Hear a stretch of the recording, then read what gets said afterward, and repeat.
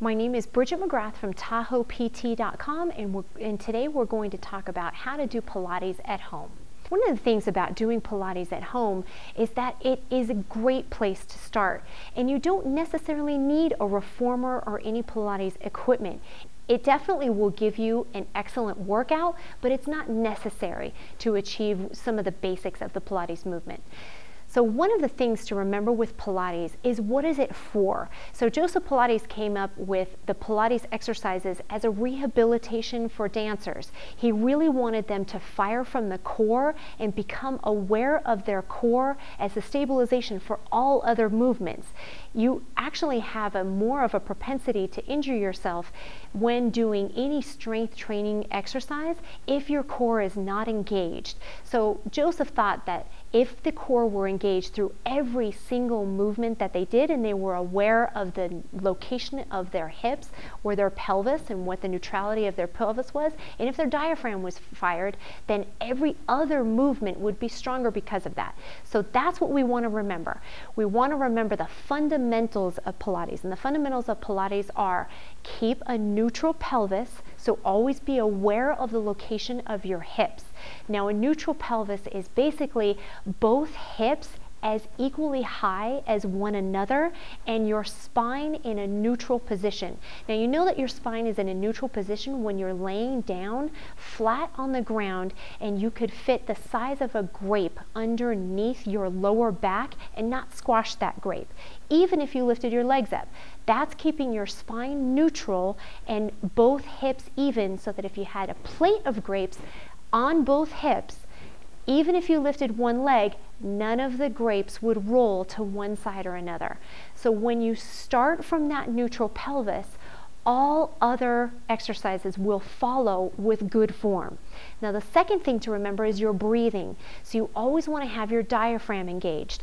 So if you put your fingers up against the base of your sternum or right in between where your rib cage starts to break apart and you exhale all the way, that muscle that you feel underneath starting to get tight, that's your diaphragm. So you want to get become very aware of that diaphragm and have that diaphragm engaged even though you're breathing in or breathing out.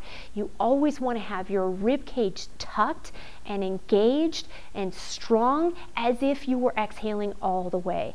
So remembering those, the neutral pelvis and the breathing throughout every Pilates exercise will guarantee proper form throughout those exercises.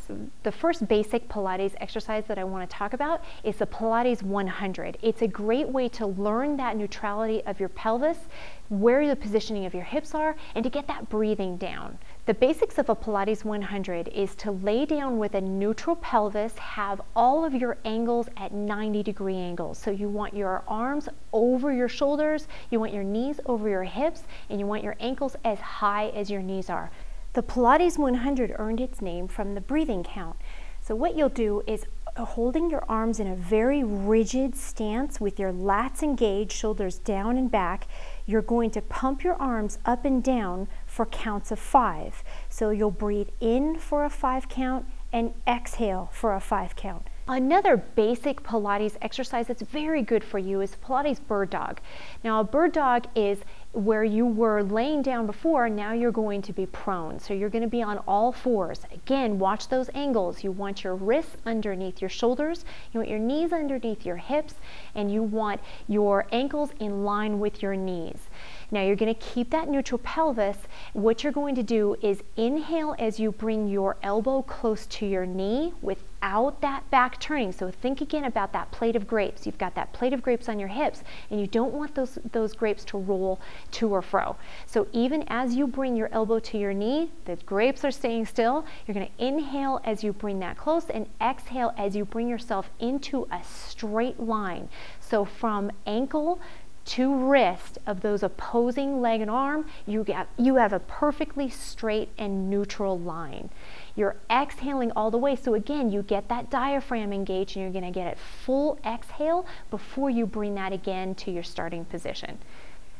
My name is Bridget McGrath from TahoePT.com and I hope you enjoyed learning how to do Pilates at home.